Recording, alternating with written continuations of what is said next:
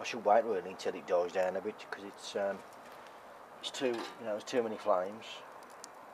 But it's big enough to put uh, two pieces of toast. I'd have it on there or on there.